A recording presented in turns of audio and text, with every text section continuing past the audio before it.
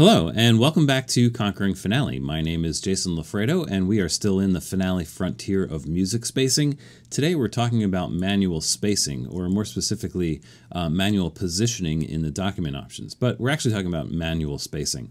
Now, in the uh, music spacing pane here, the manual positioning, there's really just this one option, and you have three different things to choose from. Ignore, which is checked by default, is the middle option, but there's also clear and incorporate. I'm going to be talking about all three of these things, but more importantly, I'm going to be talking about um, what happens when you manually space the music left and right in Finale and what these three options will do to them in different uh, scenarios. So uh, we're going to start outside of the document options for a minute. And just to clarify, uh, I just want to uh, review the fact that there are sort of two different ways to move notes left and right in Finale. The first using the measure tool if we click the measure tool, um, we'll see these handles at the bar lines, and the bottom one will pull up another set of handles, one for each uh, rhythmic value in the measure, and we can manipulate these left and right to see the, the whole stack of the notes up and down the score being moved, right? It's not just moving the note left to right in a single staff, it's moving it all the way up and down the score. The important thing to realize is about this is that when you do it in this manner, if you were to music space the, the music again, it will completely undo those changes, as you can see right there. Now, this is going to be true no matter what setting you have in the manual positioning, right? So I have ignore here, which you would think would mean, well, ignore the manual positioning and respace, which is exactly what it did, right? Um, but you could also think, well, incorporate must mean that if I have incorporate set, um, after I've made those uh, spacing changes with the measure tool, if I respace, it's not going to touch them, but it actually does touch them. It does reset them. So the important thing to realize is that anything that you do with the measure tool with these particular handles, it doesn't matter what you have set for manual positioning here either three of these options is going to basically undo those changes that you just made with the measure tool. Now, yet again, this is another instance where if you're going to be doing this, and I recommend doing this for a lot of cases because, again, it moves the entire stack. You're not just moving one note left or right, sort of, um, uh, you know, against the stack of notes. Uh, if you're going to be making changes like this, again, I just recommend that you have automatic music spacing turned off in the preferences so that you know if you were to go into this measure to make some changes to the clarinet part when you leave it it's not going to respace uh, this measure. Again if you had that option turned on if you were to do this and you left you'll see that it kind of respaced all of the notes um, uh, which is not what you want to happen. So again leave this option unchecked when you get to this point. Okay so that's the first way to uh, move notes uh, left and right is with the the measure tool um, this, the second way is to move the notes individually, and there's actually two different ways to do this. The first way to do that is with Speedy Entry tool, we can actually go in here and just grab one of these notes and move it left or right. You can also do this with Simple Entry tool as well.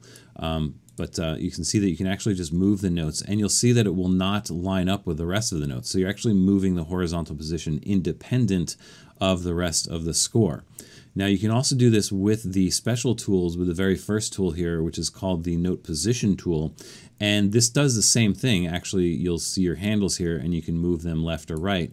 And believe it or not, it's the same type of movement that you're making here as you would with speedy or simple entry. It's actually doing the same exact thing. Actually, the speedy entry is just sort of a shortcut to this special tool, right? So that's what's going on. Now, when you make these types of changes, now whatever you have set for your manual positioning now it's going to affect what you do when you have these types of things um, uh, set up. And now when I music space here, you're seeing that the those notes that I changed did not get undone because I have the manual positioning set to ignore. So um, what I'm telling Finale is when you music space the notes, ignore the, the notes that are manually positioned. That's what's that's what's happening here. And you'll see that it, that's exactly what happens. I try to music space and it doesn't do anything essentially what's happening is that Finale pretends that these notes are in their original position and just kind of music space everything around those uh, pretend positions and uh, it, it, goes from there. So the other two options here we have are clear and incorporate. Now clear, if you have that selected, um, will do exactly what you would think. When you press the the music spacing, it will actually clear all of those manual music spacing changes that you had made. So you just saw that those two notes in my horn and F part uh, go back to normal. If I undo, you'll see them go back to where I had positioned them manually. Right. So that's what the clear does um, which is actually it can be a great way to sort of clean up a mess if you've got a, a, bunch of notes that are sort of manually spaced and they're not you know for whatever reason they got there you don't need them to be. Um, this is a really simple way to do this. Just go into manual positioning choose clear instead of ignore and it will completely undo those. Now there's another way to do this. There's actually a plugin from JW called JW Change and in the note entry section here, there's an option called clear position, which does exactly the same thing. All it does is clear the position of manually spaced note entries. Uh, it's going to do the same thing. The advantage of using JW Change is that it, it does have some filters, so you can choose to only clear the positions of quarter beats or beamed ends or you know any slew of filters um, only 16th notes or only layers 2 or whatever you want to do so um, that's the advantage of JW change but if you just have the filter set to all all invisible it will reset all the positions all at once and you see it will do the exact same thing um, that I did with uh, uh, the music spacing if I had it set to clear so kind of two ways to do that there now let's talk about the, the third option here, incorporate. Incorporate's a little bit different. So if I, well, let's just undo that so I get my manual positioning back and make sure that we're set to incorporate.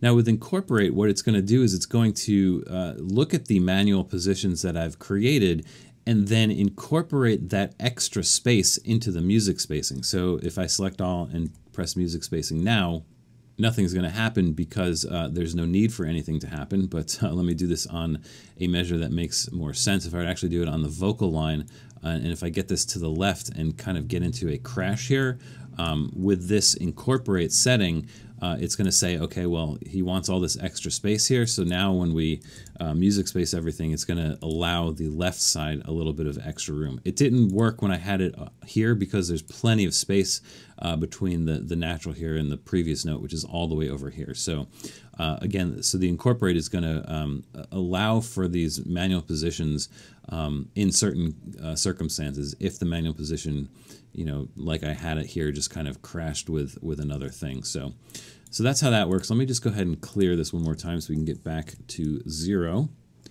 Now let me show you sort of a, a practical use of this. So if we go down here, I have another situation like I had before where my lyrics are colliding because there's a there's no syllable on this uh, the second part of the tied note. Um, and so this is just a disaster. Finale just doesn't do this correctly. Um, this is sort of the other way to fix this, that we can kind of manually uh, space the, the notes in the vocal part here. If we just kind of nudge this these three notes a little bit to the right. I don't have to completely avoid the crashes here, but I'm just going to nudge them a little bit. Maybe this one and this one as well. And then um, respace with the incorporate setting set, right? Uh, once I do that, let's see what happens.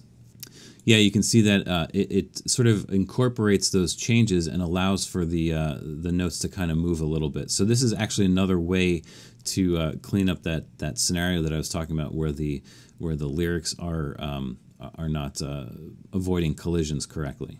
Here too, in this measure, where we have the problem of the uh, the layer two accidentals not uh, be behaving properly, we could do that here as well. I think if I just move, let's see if I move this quarter note in layer one over a little bit, and I move this one over a little bit, and with that incorporate set, I think that'll give me a little bit of a better situation. So yeah, so that's going to be the value of the manual positioning incorporate is that you can do things like that.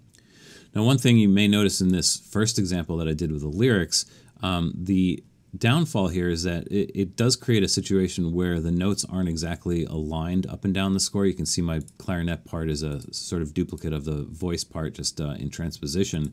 And you can see that there's not as much gap between uh, these two 16th notes, and certainly this note is offset by a lot. So the positioning here is not exactly um, uh, you know matching. Interestingly, there's another great plugin. If I'm going to go into here, uh, it's a Patterson plugin called Mass Copy, and I'm going to check out an option here. Oops, usually it's set like this, but if you check uh, set none, there's this one option in the bottom left corner called note positioning adjustments. So basically what you can do with this plugin is just copy any one of these or multiple ones of these elements that you choose. Uh, in this case, I'm only choosing the note position adjustments, um, and you can copy that from one place to the next. Now the way that this uh, particular tool works is that you have to set the source. So what I'm doing is here, I'm, I'm selecting this measure, and I'm going to go in here and click set source. And then I'm going to go to up here and choose that measure and then paste. And it will paste what I have checked the note positioning adjustments. So you saw that uh, the 16th notes just got adjusted uh, appropriately. So it's sort of an interesting other way to do the whole thing with the uh, measure tool where you can actually move these guys left and right, but it's different because you're actually doing it in a way that will accommodate the incorporate manual positioning from the uh, document options. Because again it's it's a manual position using the special tools not the uh, not the beat chart from the uh, from the measure tool right but I'm just going to take you a little bit farther down the rabbit hole uh, with this particular uh, thing here. If we go into the clarinet part, uh, what we're going to see is, you know, obviously we don't have to deal with matching with the vocals anymore. So this the spacing here is actually kind of a little screwed up. Um, unfortunately, if we have this set to, let's say we're going to go to clear, right? Uh, just to kind of clear all of those manual positions. And we do that, right, it looks good in the part, but then it completely undoes what we did in the score. And now these things are not um, lined up correctly or, or, incorrectly, as it were. Um, uh, it goes back to the way it was. So if I undo that, you'll see that that uh, that mass copy from Patterson gets reapplied, right? So what you can do in the part, um, the thing to know is that the the manual positions are actually linkable and unlinkable. So if I go into the special tools in the part for the clarinet here, and just um, you know select the the measure and I can actually just lasso select all of these and just press the clear key I think it's the backspace key on Windows um, you'll basically uh, unlink and clear the position of all of these uh, all of these elements. And you can see that three of them or four of them actually turned orange indicating that the position of these notes is actually unlinked. And so now when we go in here and actually we don't need the clear we can just do the ignore uh, the normal way here. And we go in here and we music space it'll look normal right? And it'll be all good to go. And then we go back into the score and because these are still unlinked, these positions have been retained from that uh, that that mass copy of the Patterson, the spacing here, right? So it's it's really interesting that these uh, these note positions can actually be unlinked and relinked. In fact, if you right click, you can even see that you can unlink or relink in all parts and everything. So uh, these note positions are actually linkable and unlinkable, and this is kind of how you would deal with that very specific scenario.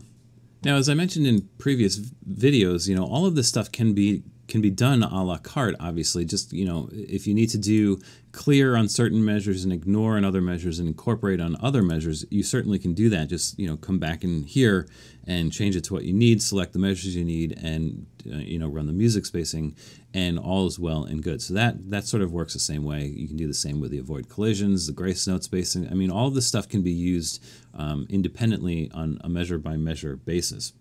The last thing I want to uh, note here, actually, let me just do something. Let me just clear everything here. Clear all my note spacing. I'm going to go ahead and relink in all parts. Just We're just getting back, oops, just getting back to normal here. The other thing that I want to mention is that the clear, ignore, and incorporate options here really only apply to uh, notes, rests, and accidentals. Anything else in the avoid collisions of section, you know, lyrics, for example, clefs, ledger lines, um, chords, or whatever you have set here, the manual positioning ignore, clear, incorporate doesn't affect those in the same way. Um, so, for example, if you were to, you know, move the syllable over here and think that going in here and choosing clear is going to clear the manual position of the syllable. It doesn't. What it will do is it will um, clear the manual position of the note Um, and you did see it move. And what it's doing is it's sort of recalculating the left and right boundary of the lyric based on the, the manual position that I did, but it's not actually recentering this lyric.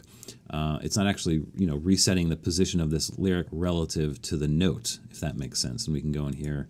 It's the same thing with incorporate. It won't actually incorporate in the same way.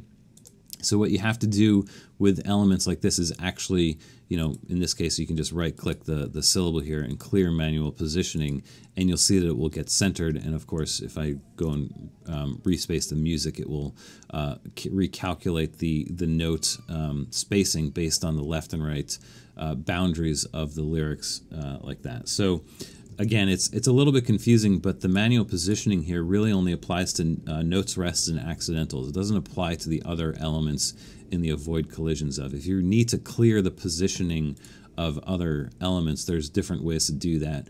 Um, locally, most notably, you can usually just right-click something and choose clear manual positioning uh, uh, to do that. All right, so uh, clear as mud. Yeah, it's a little bit confusing, and and uh, I, I, think um, a lot of people struggle with this, and I, have even struggled with it in the past, just sort of understanding, um, you know, how to get my manual positionings to stick in the score.